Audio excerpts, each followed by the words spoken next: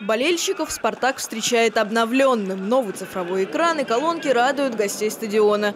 Больше половины времени в первом тайме явного фаворита не было. Ни одна из сторон свои ворота не уступала. И все же счет открыли гости из Москвы. Немного не разобрались. Гол по игре не вытекал, я считаю. Примерно раз, равная игра. Немножко нам надо изменить игру во втором тайме, и мы забьем свой гол. И надо забить второй. В первой половине второго тайма вести продолжали игроки Сахалинца. Однако чуть позже красно-белые начали нагонять. Еще бы, команда играет дома, а гости из Москвы взяли болельщиков с собой. В общем, поддержка у обоих клубов колоссальная. Новый состав, ждем, как сыграются. Очень, очень много новичков пришло, очень много новых пар, новых связок. Сахалинец полностью доминирует. Надеюсь, что счет будет больше. Есть, конечно, положительные моменты, но команде нужно еще немножко сыграться.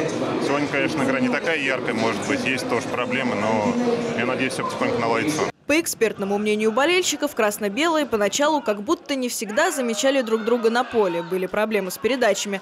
Однако в итоге «Спартак» счет сравнял, сыграли 2-2. esquerda e sopra, visão Minas e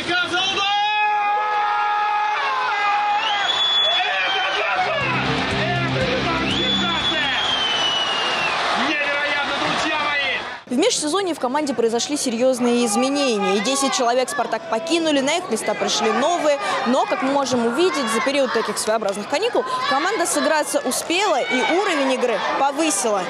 Теперь команда начнет подготовку к двум выездным матчам. 2 августа играют в Нововоронеже на Кубке России с «Атомом», а 6 числа с Тульским «Арсеналом». Полина Болотова, Илья Тырса, Александр Кобзарев. Область новостей.